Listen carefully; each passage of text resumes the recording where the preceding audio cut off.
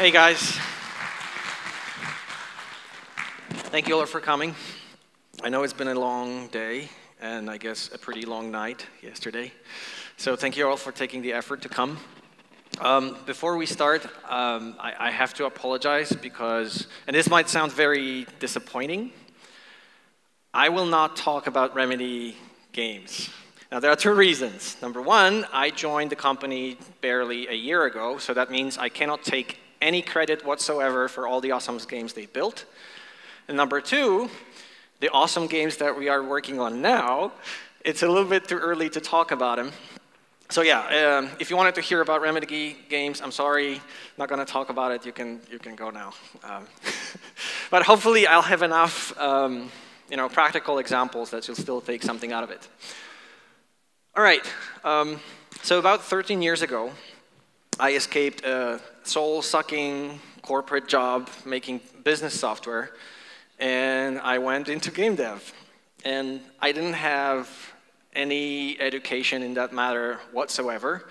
Um, luckily, I was surrounded by very smart and very patient people, so I could rely on them learning from them, and then you know they pointed me to the right books and uh, the right talks, and I started doing stuff myself with a lot of a lot of trial and error, and obviously mostly error.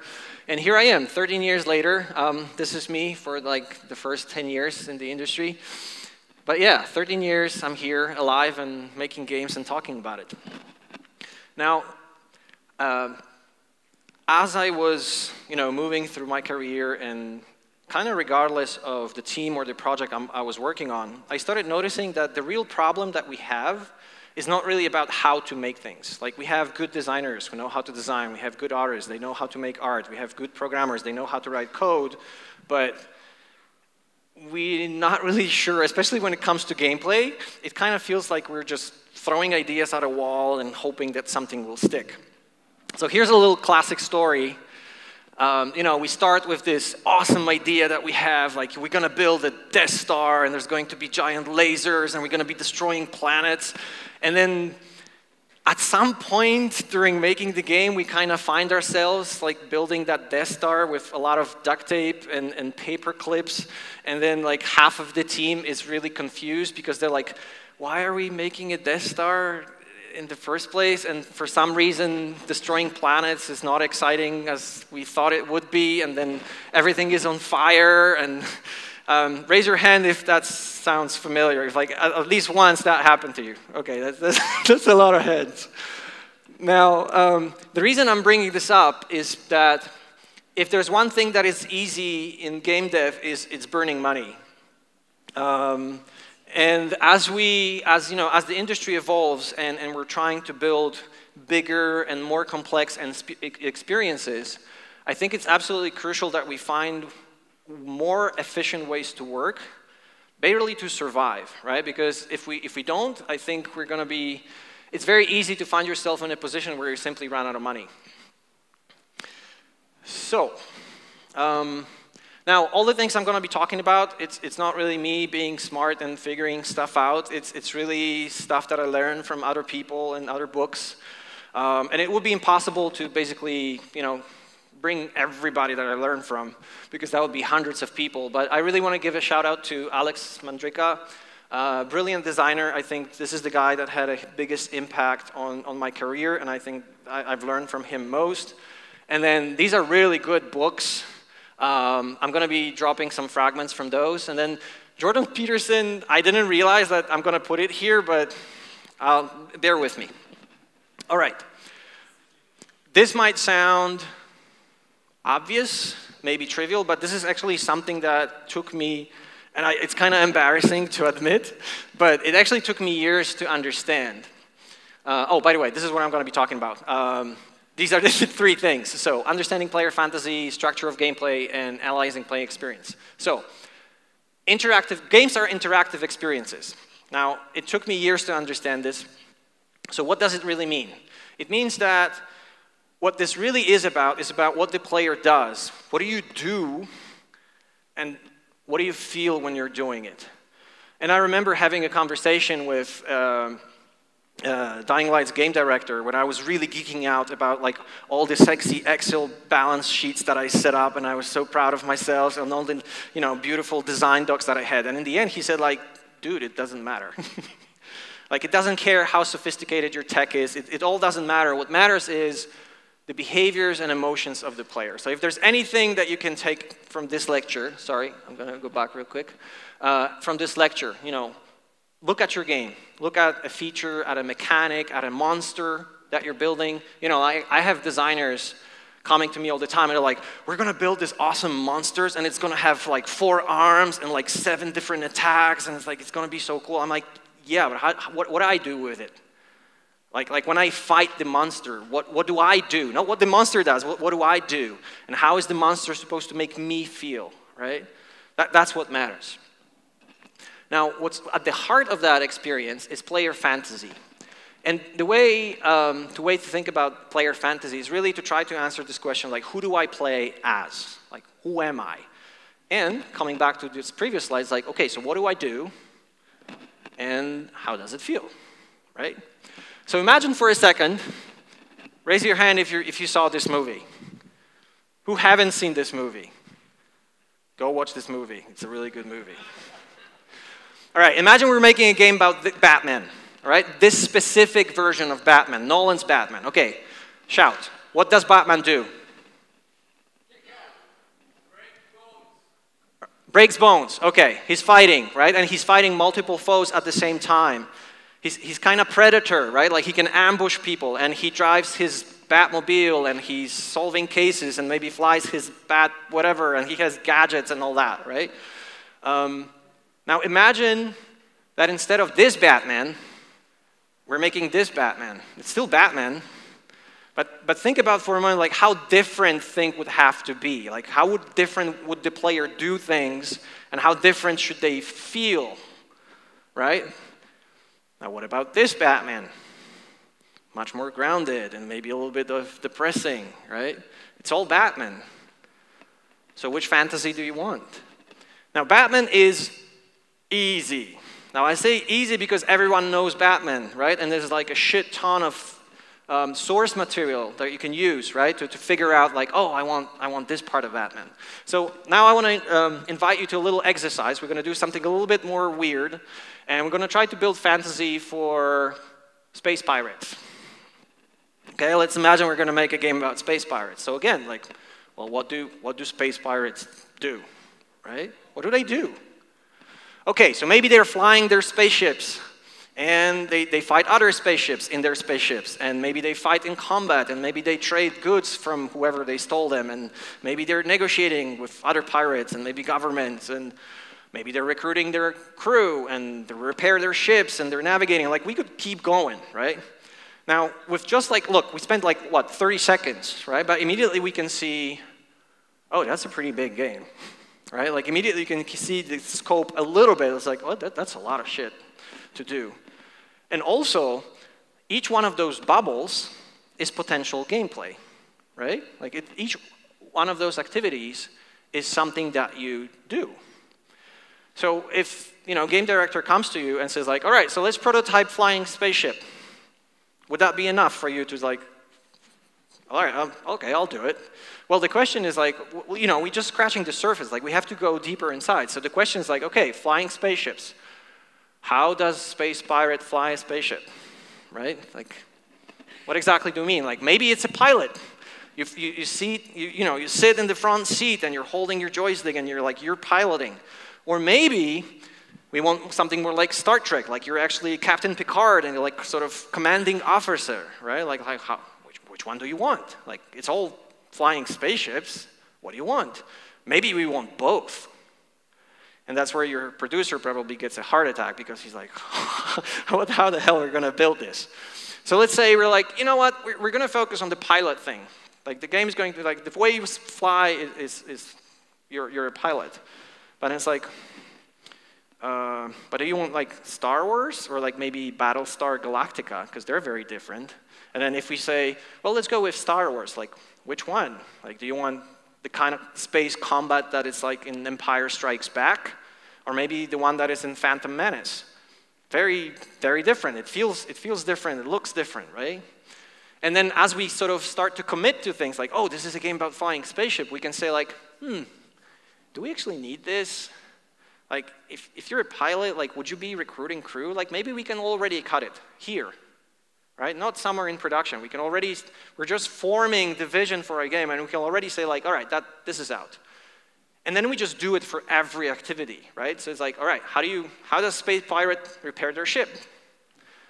Are there more like, you know, space mechanic, where you're like literally sitting in your ship and you're disassembling it and then like fixing something and putting it back on and or maybe you're just, you know, I'm going to visit the shipyard and I'm going to pay some money and it's done. Like you can think like, okay, how much time do we want player to spend repairing their ship, right? Like how does it fit the rest of the game? And like, how do they fight? And I couldn't find cool pictures of space pirates fighting, so I took Neo and John Wick. But you know, they're different. They're both Keanu. But one can, you know, jump between buildings and fly, and the other one is like down to earth and all. Like, how, how would you fight? Um, and then as you go through all this, you sort of need to ask yourself, what's at the core? So if we look at all these activities that we kind of line up for ourselves, which one is the heart of the game? Or in other words, like, what's the one thing that we cannot take out because it would be a different game? So maybe in our case, we can say, you know what? What this game is actually about is about flying spaceships. And that means everything else is just there to support flying spaceship. So maybe we get rid of recruiting, and maybe we get rid of in-person combat, and maybe we don't do negotiating because this is a game about flying um, spaceships. So a little bit more practical example. When we were working on Dead Island, this is actually the first game I, I ever worked on, the focus was melee combat, right? That's what, uh, what's at the heart of the game. This game is about getting really close to your enemies and they're beating them to a pulp in a very gory way and cutting them to pieces. Dying Light, it also has melee combat, but the, the, the, the thing at the core is parkour. That's what makes these two games different. So yeah, we have combat, but we had to design it in a way and balance it in a way with all the other systems so that we never overshadow parkour because this is what's at the heart of, your, uh, of, the, of this game. Now, as you go through this process, one thing that you have to remember is that words are weak. So even if we speak the same language, when I tell you about like, here's what I want, here's how I think you, what you should be doing and how you should be feeling, it's, it's going to create different pictures in your head. So use pictures, use illustrations, use previous material, use fragments of other movies. So like, I'll give you an example. When we were working on both Dead Island and, and Dying Light, we would spend weeks watching every possible zombie movie with notebooks and saying like, okay, what kind of situations people get in those? And they're like, what do they do? How does it feel? And like that, that helped us tremendously. So like, whatever you do, you need to be able to convey emotions. So that how, that's how you sort of grab your, you know, your, you, you have a grasp of your, of your fantasy and what you're supposed to be doing and feeling. And then we can jump into like, okay, so let's, let's build gameplay for something. Okay, this will sound a little bit embarrassing again, but uh, for a very long time, I didn't really understand what gameplay is.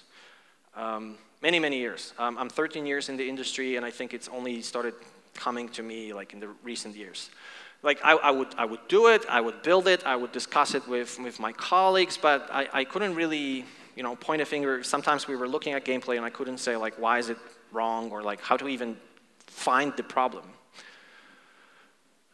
And the sort of epiphany that, that, that got triggered was actually when I was reading uh, Jordan Peterson's book. And in, the whole book is about order and chaos. And there was this fragment that I came across. Um, can you read it? Is it big enough? Yeah? Okay. And then I was like, okay, uh, I really like the fragment where he says, when time passes and you're so engrossed in what you're doing, you don't notice and it is there and then that you're located precisely on the border between order and chaos. And that was like, there was a moment of like, ah, aha, I think I'm into something. And that, so, that sounded very similar to flow theory. you know what the flow is, right? Like we're, we're trying, we're aiming to get people into that flow state, which is a place that people are so involved in an activity that, that nothing else seems to matter. It's like, all right, all right, there's like, I think I can start to connect this, these, these dots. So I started literally making a map for, my, for myself, like, like, a, uh, like I was building a tool for myself to help me understand gameplay. So I was like, all right, so there's, there's this order on one side, and apparently on the other side there's chaos, and I'm looking for something in the middle. And when I was reading a lot about this and, and thinking like, and this will be, this will sound very new agey really quickly, so please bear with me. I came in, I, I, the picture that came to my mind was, was this, right? And then this quote really stuck in my mind. It's like, all right, on the border between order and chaos.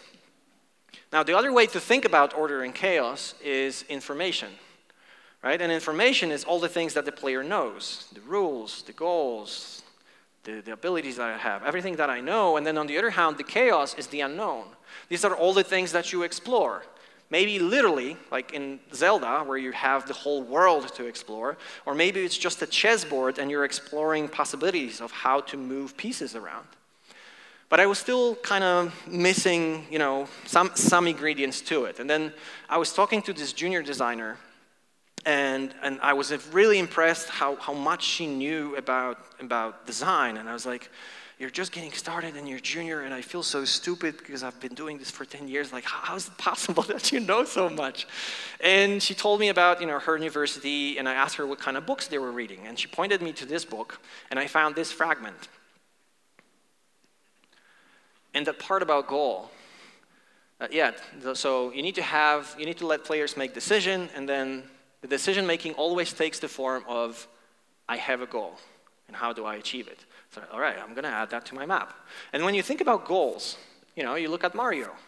That's a very simple goal. Just get to the castle, go to, far, to the far right end of the level. And maybe it's like, you know, be the last man standing, and maybe, you know, kill the dragon, or just get on top of the mountain.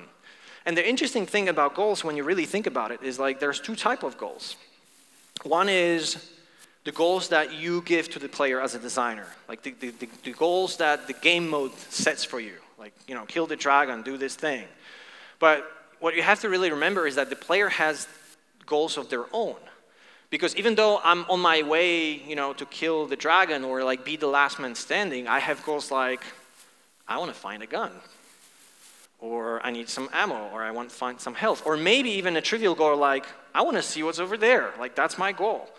So you have to remember like not to create too much friction between what the, what the game asks you to do and what the player wants to do, right? Like it's easy, easy to, to, to create friction there. So right, so we got goals. What's on the other side? Any ideas? Close, yeah, yeah.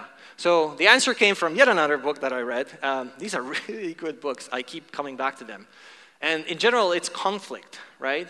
And I really like this part when it says, yeah, conflict is designed into the game so that um, procedures, rules, and situations that do not allow player to achieve their goals directly, right? So what are these? Yeah, enemies, obstacles, the gap that you have to jump, other players that are trying to do the same thing. Maybe it's the stamina system. Maybe it's how the mountain, the climbing mechanic is built so that you have to figure out exactly at which angle to figure it out. So we've got the conflict com uh, component. What, what else is there? And I, from, from this point on, I was kind of getting obsessed with, with this thing. And so, yeah, like if we want to create conflict, we got to have obstacles. Very well. And then if I have obstacles, I need to be able to overcome them somehow, right? So on the order side of things, I have my abilities as a player. Like I can, I can move around, I can jump, I can shoot a gun and all this. And you know, sometimes you get into this chicken and an egg situation where you kind of get stuck because like, well, we kind of don't know how to make player abilities because we don't know what the enemies are going to do or the obstacles will be, or, and we can't really do enemies because we don't know what the player is going to be. So I guess you have to pick something, right? You have to start somewhere. Maybe you have a fantasy about something like, I'm making a game about Batman, and I know Batman is throwing batarangs. Like, that's a player ability I want to have. All right, let's then figure out obstacles, challenges that require you to throw shit. And then finally, we got uh, as you do stuff in games, you have feedback. Like this is all the stuff that's hitting you. You're, you're doing something, you press some buttons, you do something, and you're getting feedback. This is information, right? This is the order part of things. And you've got all the stuff that you have to learn. I have to learn how this game works. I have to learn how to operate this gun. I have to learn what this monster does. And where gameplay is, is I believe, on exactly the border between the order and, and chaos. Like you need a mix of both, and it depends on your game. So um, let's look at some practical example. Okay, let's take information, right? Imagine you're going into a dark room, and it's pitch dark, and I'm telling you, you need to find a key in the room. It's impossible, right? Why? Because there's, you're, you're what? Because otherwise you don't have you're, you're too much into the unknown right? Like i don't have enough information. But let me give you a flashlight.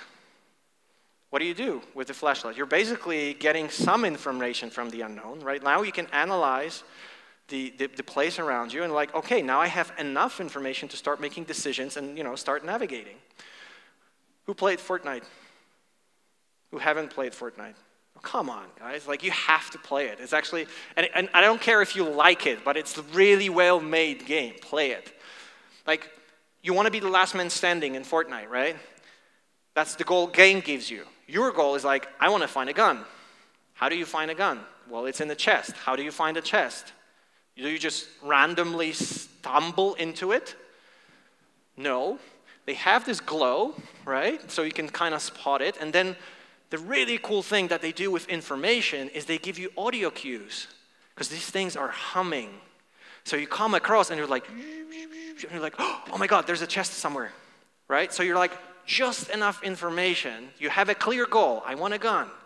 And there's a huge space of the unknown to explore, but I have just enough information, you know, to, to play, to have, to have gameplay. Um, can you have too much information? Yes? No? Yes.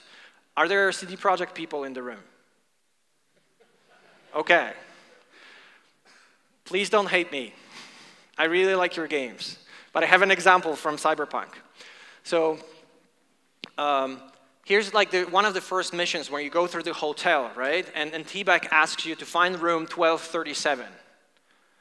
Um, and what do you do in this situation, right? You, there, there are, there's a, it's a hotel, so there's like numbers on the doors. You would go through and say like, is it this door? No. Is it this door? No. And eventually you would come across the, the right door and you're like, all right, I found it. Gameplay. It was me. I have a sense of ownership and achievement. But you have extra information in forms of quest marker. And it basically says, it's here. So then I don't, I don't longer, I no longer play right? I don't play, I don't find it because it's already found. So like I cannot play finding it. And there's like another uh, clue here. It's like just follow the dots. Now, very important thing to understand is that this is not necessarily wrong. Here's why. Like, I can say this because I have absolutely no idea what the intent was for them. Like, if I wanted to make a finding game, here. I want player to have the behavior of like, yeah, I want you to look at the doors and I want you to have this sense and I would do it without those markers. But maybe that's not what I wanted. Maybe they actually wanted you to be quick to get to where the action is and whatnot, right? Because then maybe, you know, they tested it and it's like, yeah, people are getting lost. Maybe like there's problems and we really want to just get player easily to this part because this is where the interesting parts that we want to focus on are. So like maybe that solution works for them.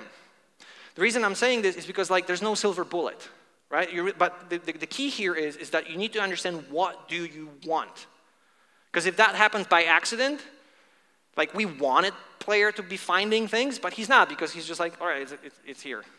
So, you know, think about it. Think about what you want, what kind of behaviors and emotions you want for the player. Feedback. How do you think about feedback? Well, this is what happens when you press a button and then right? Like this is how why I have a I, I have three kids and now I have um, a, a, a boy who's like a year and a half and he just fucking loves the elevator because he gets in and he presses a button and then the button lights up And then the door shuts down, and it's like, and then the whole thing starts to move. And he's just fucking ecstatic. Like, it's the coolest thing ever, right? Because feedback gives you a lot of pleasure, right? Just think about like when you're shooting in Call of Duty. Like, what happens, right? You press a trigger, your pad starts to vibrate. You have haptic feedback, and then you see VFX coming from the muzzle, and then there's the sound of the gunshot, and then there's the sound of hitting the target, and then you have VFX showing that, and then you have the UI indicator saying that you hit, and so on and so on. There's so much cool feedback to tell you, like, yeah, awesome. So, you know, whenever you're looking at your game, you can say, like, all right, do I have enough? Like, where's the problem? It's like, you know, the goal is clear, you have the obstacles, but it kind of, you know, it doesn't feel like the way it should. It's not as fun. Maybe the problem is with feedback, right? Like that's a lens that you can use. Learning, learning. I really like Gran Turismo because you can spend, spend lifetime learning this game. What can you learn? Like every single car drives differently. You have analog controls, right? So you have to really be good with your, your, your thumbs and, and, your, and, and your triggers. And you have to learn like, you know, like every track is different. So you have to learn like all the braking points and then you go to another car, and then you go to another track, and then on top of that, you have tire wear. So like through the course of the race, you have to learn even more because those, those braking points start to move. And then on top of that, you have, you have dynamic weather, which kind of you know, adds even more stuff that you have to learn. So does your game has enough stuff to learn? And obviously, it's not like, just like with everything is, it's, it's, it's not like you, ha you have to have a lot of everything. Because like you have to learn a lot in these games, right? Like Dark Souls and Sekiro. It's like you have to learn all the patterns and timing windows and attacks and all that. It's not for everybody. Some people are like, yeah, it's like, it's, it's too much. I just want to whack some buttons and, and really feel good about it. It's like, I'm, I'm not going to learn. So again, it's like, well, what do you want? What do you want? who's your audience? Right? It's not about you. It's about for whom you're, you're, you're making this game. So yeah, there you have it. Like this is, this is the sort of framework that I use, right? Like I, can, I can take whatever situation in gameplay and at any point I can ask myself, is the problem of information? Maybe it's not enough, maybe it's too much. Is, are the goals clear? Maybe there's too many goals. Um, is there conflict? Are, is it in the right places? Like, do I have the right obstacles? How, what about player abilities? What about feedback? What about learning? Right? So it's no longer about us talking about like, oh, I like this, or like, ah, that, that sucks. Like, this should be like this. This should be like, like, no, no, no, no. Be specific. Say like, the problem is at this point on time, there's too many goals and player is just like in, unable to move because there's just like too many problems that he has to deal with. So like, okay, let's reduce number of goals. Let's increase feedback. Like, you know, you can be very, you can have very meaningful conversations and trying to fix the right thing. But the problem is that if you were to apply it to the whole game, especially if it's big and complex, it's, it's, it's impossible, right? Because games are huge. And so, so trying to see the whole thing and trying to find like the one problem that happens, it, it's very difficult. So, so let's talk about analyzing player experience. And this is something I actually learned from Kuba Grudzinski from Artifex Mundi. He had this absolutely fantastic way of sort of being able to cut the game into small pieces to help you fix specific parts. So let's talk about that. Who knows this game? All right. What's this game? League of Legends. Yeah, there we go. You can read. Great. Um, so for people who don't know this game, this is a game where there are two teams. This is a MOBA. There are two teams, and they're trying to destroy each other's base. Pretty complex game. So try to think about you know, if you were to draw what's happening in the game on a timeline, right? Where on the left, we're starting, this is the start of the match, and then there's the end of the match. We're looking at a match for now. How could we sort of, because there's a lot of stuff happening, right? Like, how could we sort of cut into smaller pieces so that we can pinpoint problems and fix them? Well, one way to see it is like, all right, we can just think about the match as a whole, and there's some early game, and there's mid game, and there's late game. And now we can at least say, like, okay, we're just going to focus on what's happening in, in the early game. And then we can start asking questions, kind of using the same framework. It's like, all right, what are players trying to do? What are their goals? Both their own and what the game tells them, like that this is their goal. Like, what are they doing? How do they feel about it? What kind of questions and what kind of thoughts are going through their head? Right? Like maybe at this stage, it's like, where the hell's my jungler? And why is this guy continuously ganking me? And like all that stuff, right? And then we can sort of try to understand like what mechanics are causing this, right? Like why am I feeling this? Why am I doing this? Like why do I have this question? Why cannot I find the answer? And you do it for the whole game, like, right? Because ultimately you want things to change, right? If, if, the, if I have exactly the same goals and exactly the same behaviors, all through the game, that's kind of boring, right? So things have to change somehow. Like, for example, they don't give you all abilities at once. Like, imagine if they would.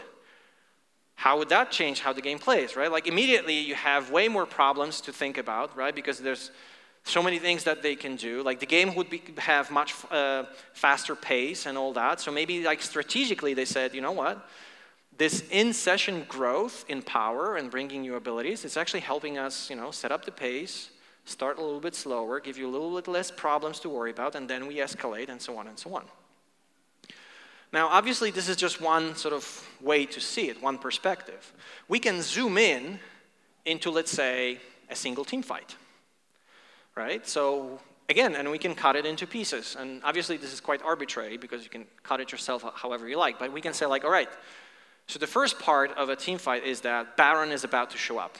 Uh, for those of you who don't know League of Legends, Baron is like a huge monster that's very difficult to kill, and everybody needs to come. And then when you kill it, you get a great bonus, and you can sort of snowball over the, the other team. So about like 30 seconds, let's say it starts about 30 seconds before the Baron shows up, right? And we're like, all right, this is the first part. And it's like, at this point, our goal is kind of to, best, to get the best position, and this is what we do, and this is how it feels. And then it's the fight itself where things happen. And then there's, you know, we got the Baron, right? And now we want to snowball over people. We have the bonus. Now, the tricky part here is that you cannot just see it from the winning team perspective. You also have to see, like, okay, how does this experience looks like for the team that lost the fight? What kind of goals do they have? How do they feel about it? And that only shows you that, you know, in order, like, you have to be really careful when you're adding stuff to your game because it affects all of those things, right? And you have to see all those perspectives and you need to know exactly what's happening. So, for example, I was working on this PvP first person game, and at some point in the match, uh, the game director got sniped and he died in one shot. And he was like, immediately was like, all right, we, we need to lower the damage on sniper rifles, 50% down. And I was like, wait, wait, wait, wait, wait, let's, let's talk about it. Because if we do that, like we solve problem for you, right? You can no longer be one shot and you're happy because you're no longer getting frustrated. But how does it look like for the other guy? Like he was sitting there sniping and he took a shot and he one shot you and he feels fucking amazing. So if we just go immediately for you know lowering the damage, that means we're solving problem for you, but we're creating the problem for the other guy. So maybe we should start thinking about like, okay, how did this happen? What were you doing? What was the other person doing? Maybe it's too easy to take that shot. Maybe we have too long line of sights. Like that's why I can take that shot from the you know other side of the map. And it's like that's the problem. You know, like it's not the damage. It's just like you can shoot across the whole map. Like let's fix this, and so on and so on, right? And obviously you can also zoom out. So you can think about long term. It's like first 10 hours of me spending time with game, I'm going to have different goals. I'm going to have different questions like, what does this button do? Like, how do I how do I win? Like, what does this ability do? And it's like I have I have different goals. I'm trying to do different things, and then maybe later I'm I'm mastering it, and I'm like, all right, all right, all right. I know how it works. Like the basic mechanics, I got it. Now maybe my goal is I want to find the best build possible, and I want to maximize my opportunities to do this. Like so, you know, again, my questions, my thoughts, my, my behaviors, my goals, they're, they're continuously changing throughout the experience. And then maybe I've seen it all. And I'm like, all right, what else can I do in this game? Because my goal is like, all right, I, I did the thing, I, I kind of know. Right? I'm still playing, so it's almost like I'm playing a different game every time.